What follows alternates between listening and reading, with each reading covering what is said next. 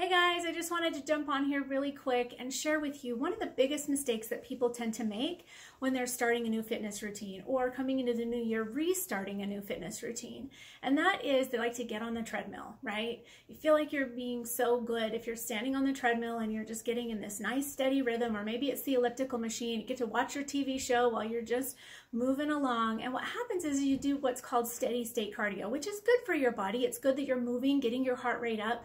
But if your goal is to lose weight, if your goal is to increase your lean muscle mass, and if your goal is to burn fat, then that's probably not as effective for your time that you're spending. A much more efficient way to use your time is to do what's called HIIT training. And what that stands for is high intensity interval training. You're probably familiar with it. It has become a really popular way to work out. And it's because it's actually more efficient and takes less time to do. I mean, win-win. If you're a busy mom like me, that is exactly what you're looking for. Give me something that gets more results in less time. HIIT training has been proven to be more effective at burning calories, burning fat, boosting your metabolism, even sometimes building muscle.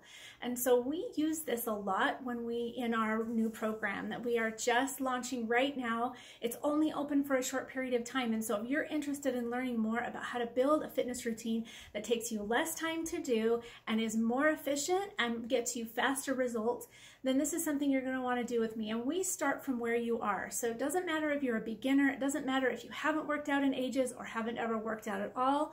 We start from where you are and we build up with building blocks using the four fundamentals of fitness. So if that's something that interests you, I encourage you to jump on. You don't have very much time. But in the meantime, I want to give you one quick workout that you can do today. And this is just to show you how easy it is to do a HIIT, work, HIIT workout wherever you are, whatever you're doing. Okay. So I'm just going to step back here. I'm going to pick two different movements that we're going to do. And you're going to do them for 30, 30, and then rest for 30. And you're just going to repeat it four times. So the first movement is just a squat jack. Okay. And there's two different ways that you can do this. So it's a jack, and I want you to drop, put your butt back, kind of lift up with the chest, okay? Now, if you can't go all the way down, one way to modify it is to stay up higher, okay? And then another modifier is to just take out the jack, okay? So three different ways that you can do that movement. 30 seconds on that one, and then the next one is just gonna be a good old-fashioned burpee. And you'll just do this by doing, I'm gonna make sure I've got room behind me, jump up, down, come back to a plank, up, push.